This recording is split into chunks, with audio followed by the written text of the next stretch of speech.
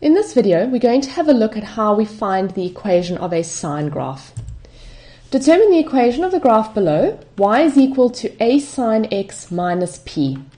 We know that the a is the amplitude of the graph and that the p value determines the horizontal shift of the graph. So we know that this graph could potentially have had its amplitude changed and it could have been shifted left or right horizontally.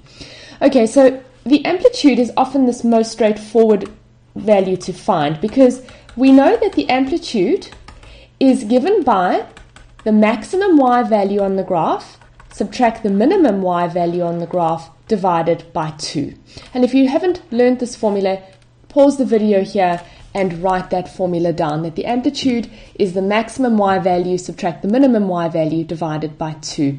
And I'd like for you to pause the video and to try and see if you can find this equation on your own.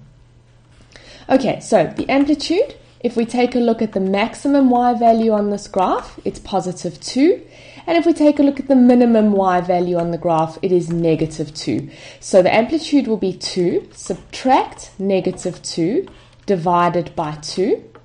2 subtract negative 2 is 2, add 2, which is 4 and 4 divided by 2 is 2. So we know that this graph will be y equals 2 sine of x. Now we need to figure out how the graph has been shifted. And sometimes the best way to do that is to think about where the standard sine graph would be. So if we were going to just draw the graph of 2 sine x, it would have its first point at the origin, 0, 0.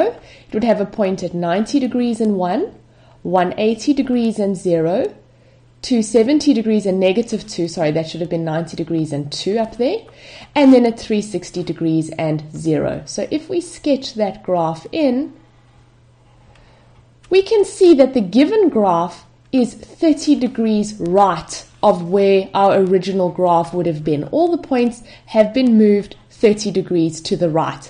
So that means if we're moving to the right that our sign in the bracket will be negative and it will be the sine of x minus 30 degrees.